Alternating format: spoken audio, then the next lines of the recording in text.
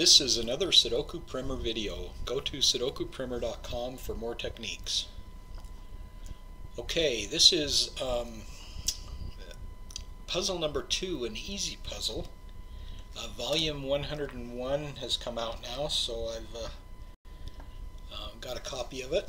Um, this is volume 101 of Sudoku to Go by Soap Opera Digest.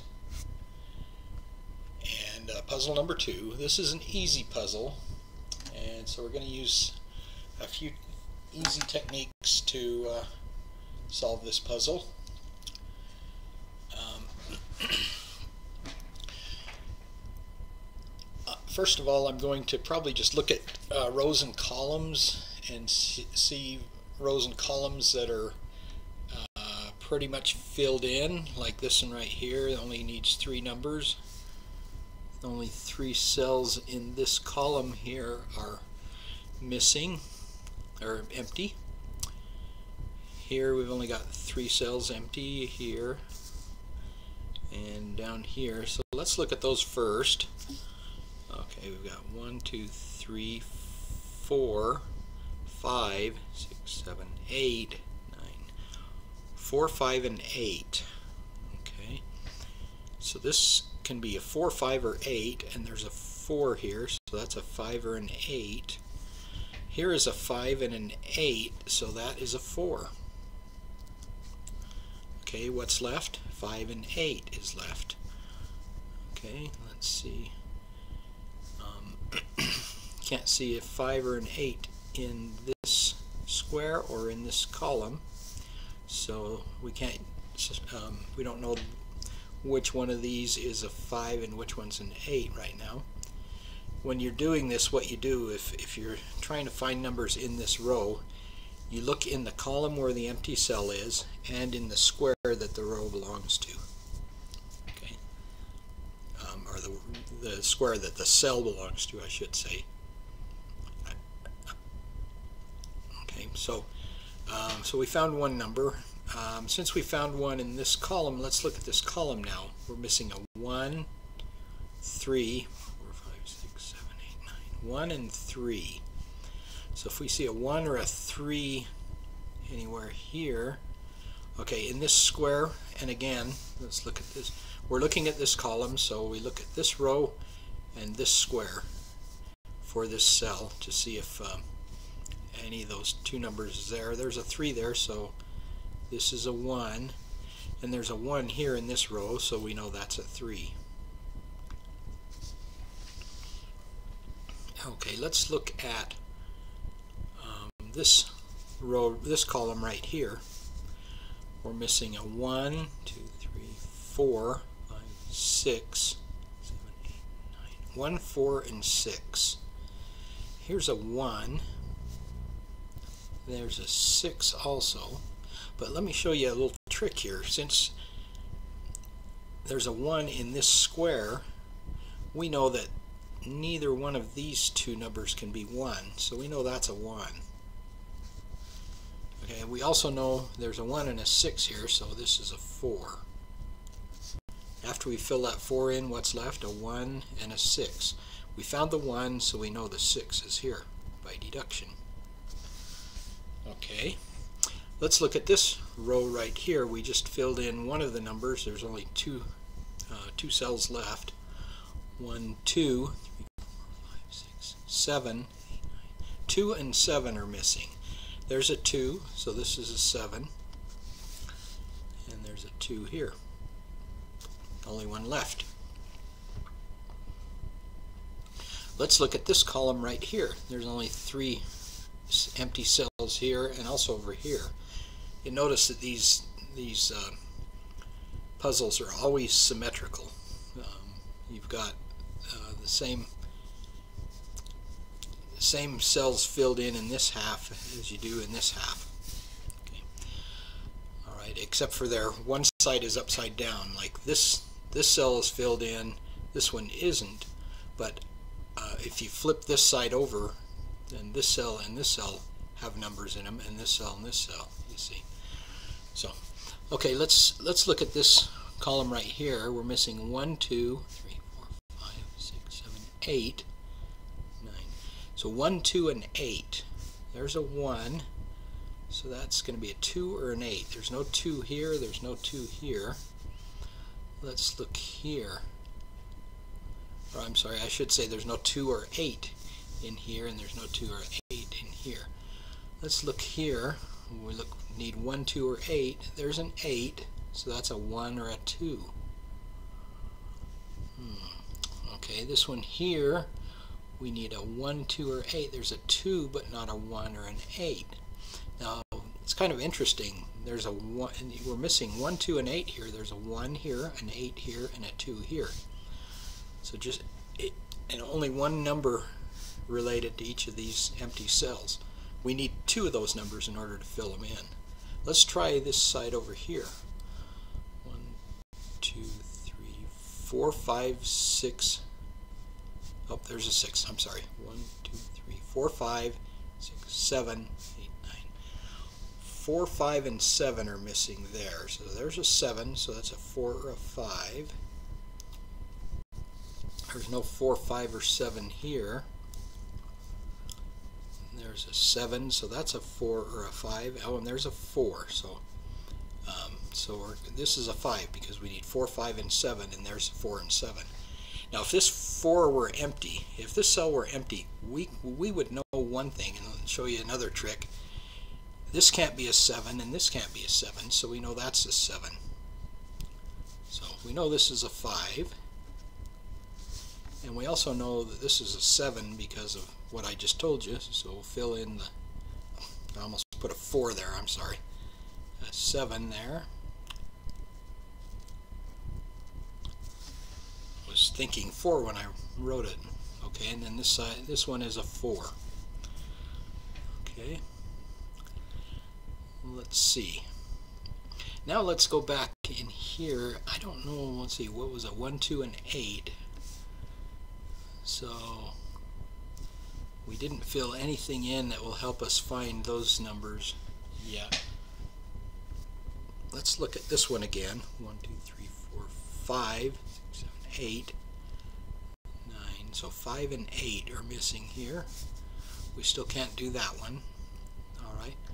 Let's try some of these um, rows and columns that, that have 5 numbers, that have 4 empty cells, like this one right here. So we're missing one, two, three, four, five, six, seven, nine. Five, six, seven, and nine. So I don't see any of those numbers here, and I don't see any of those numbers here. Here's a 7, so that's a 5, 6, or 9. Here's a 6 and 7, so that's a 5 or a 9. Here's a 7 and 9, and there's a 5. So I think that's a 6 right there. 5, 6, 7, 9. Okay. Now what's left in this row? 5, 7, and 9. So we know this is a 5 or a 9, so the 7's got to be over here because the 7, there's a 7 here, and there's a 7 there, so we know that's a 7. Okay, what do we have left? We got 5 and 9 left, and we I don't think we can solve those right now. All right, let's look at this row right here with five numbers. There's four empty cells. One, three, six, nine. One, three, six, nine. Okay, there's a three, so that's a one, six, or a nine. Oh, look, here's a one, six, and nine, so that's a three. Okay, so what do we have left? One, six, and nine. Here's a 6, so that's a 1 or a 9, and that's a 1 or a 9. Since the 6 is in this square, we know that 6 can't fit in either of those because we already got a 6 there. So we know this is a 6. And we know these are 1 and 9, and there's a 1 there. 9, 1. Okay. Let's see. Let's look at this right here. This column. And there's something interesting here. This is a little bit more advanced technique, but we have 5 and 9 twins right here. Um, so we can count those as numbers we know, even though we can't solve them yet. we don't know where the 5 goes and where the 9 goes, but we know 5 and 9 have to fit in these two cells. So that means we can count those, and there's, if we look at it that way, there's only three empty cells that we don't know numbers for. So let's try that. Two, four, five, six, seven, eight, nine. Two, four, and seven are missing because five and nine are already accounted for here.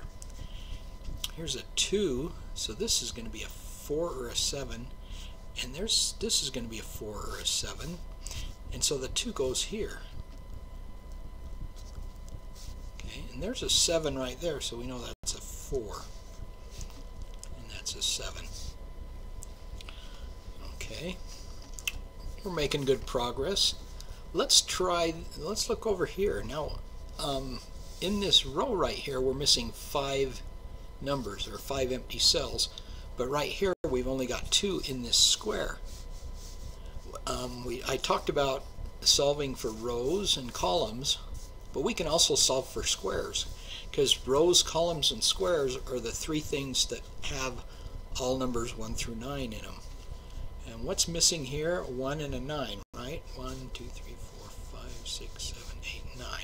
1 and 9, and there's a 1, so we know that's a 9. And that's a 1. Okay. Uh, let's let's look at this right now, and this um, we can look at this as a square or a row. And just so you can so you can see this, um, you'll notice that all the numbers here in this row are already in this square because these three cells, the only three empty cells in this row and in this square, are in both containers or both places. Um, so we've got a, one, a 519, 519, 627, 627. You see, kind of an interesting way of looking at it. So what are we missing here? We're missing 1, 2, 3, 4, 8, 3, 4, and 8 are missing down here. There's a 3 and a 4, so we know this is an 8. And what's left here? 3 and 4. Okay, and we can't solve those right now. Okay, we're making pretty good progress here. Uh, now that we've solved this 8, if you remember, um, here we were missing 1, 2, and 8. We only had a 2 here. We've got a 1 now. That would have also helped us find this 8. But we only had a 2 here, we had an 8 here, and we had a 1 here. So we couldn't solve these three empty cells in this column. But now that we've filled in this 8 here, all, we've, all we're missing is 1 and 2. So we know this is a 2, because there's a 1 there. And this is a 1.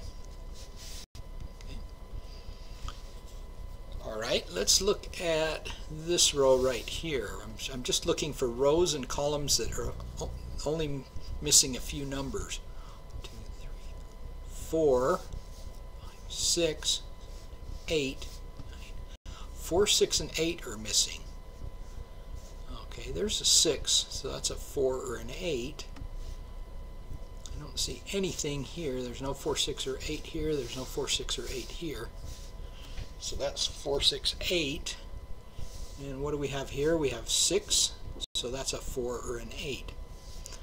Okay, again, um, since this is a 4 or an 8, and this is a 4 or an 8, that has to be a 6. Or another way to look at it is there's already a 6 in this column and already a 6 in this column, so the 6 has to be there.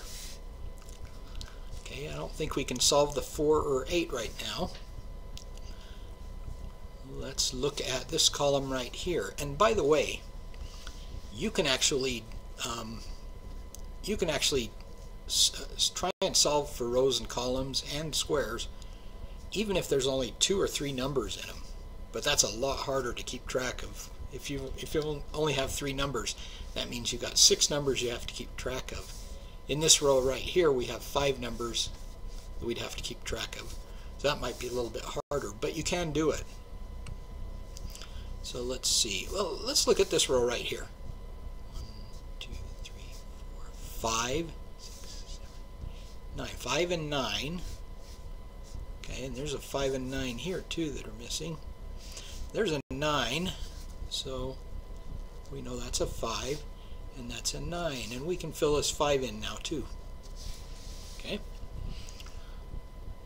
Making good progress. 1, 2, 3, 4. Let's look at this row right here. 1, 2, 3, 4, 5, 6, 7, 8, 9. Yeah, that was our 5 and 8. And there's a 5 there now, so we know that's an 8. And that's a 5. Okay, we have three fours here, but we don't know, we can't solve those yet. Wonder what these two numbers are here. One, two, three, four, five, six, seven, eight, nine. Three and eight. And you know what, we can't, there's no threes or eights here, so we still can't solve those. Let's look at these two numbers here.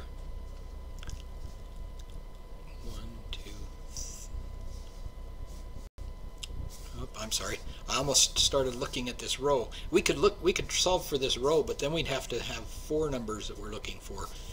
Let's look at this square right here, and we only have to solve for two numbers. One, two, three, four, five, six, seven, eight, nine. Six and nine, and there's a nine there. So that's a nine, and that's a six. Okay. now we've only got two cells empty here, only two numbers missing. One, two, three, 2 and 3. There's a 3, so that's a 2, and that's a 3. Alright, let's look at this um, column right here, or it's easier to look at this square because the numbers are closer. 1, 2, 3, 4, 5, 6, 7, 8. 4, 5, and 8. There's a 4 and a 5, so that's an 8. Here's a 5, so we know that's a 4, and that's a 5. Okay. Well, we're making good progress, I think. Okay, let's look at this row right here. 1, 2, 4. 2 and 4 are missing. There's a 2, so that's a 4, and that's a 2. And if you remember, these are 3 and 4. We couldn't solve them. There's a 4 there now. And there's a 3 and 8 up here. So we can solve all those now. There's a 4 here, so we know that's a 3, 4. And this was 3, 8, so there's a 3 there. So we know that's an 8, and that's a 3. Okay, we've only got two numbers left. 1, 2, 3, 4, 5, 6, 7, 8, and 9. And there's a 9, so we know that's an 8. And then therefore that's a 9. Okay. Well, we um, solved an entire easy puzzle by uh, solving for rows, columns, and squares. Looking for rows and columns that only have a few numbers missing and then looking for squares that only have a few numbers missing. So that's a little bit more um, basic technique to, to finding numbers. You can use those techniques in even more difficult puzzles, all the way up to diabolical, but uh, um, they work pretty well. They're pretty easy to, to do, and they work pretty well for easy puzzles. Thanks for watching, and watch for watch next for uh, solving a medium puzzle from this volume.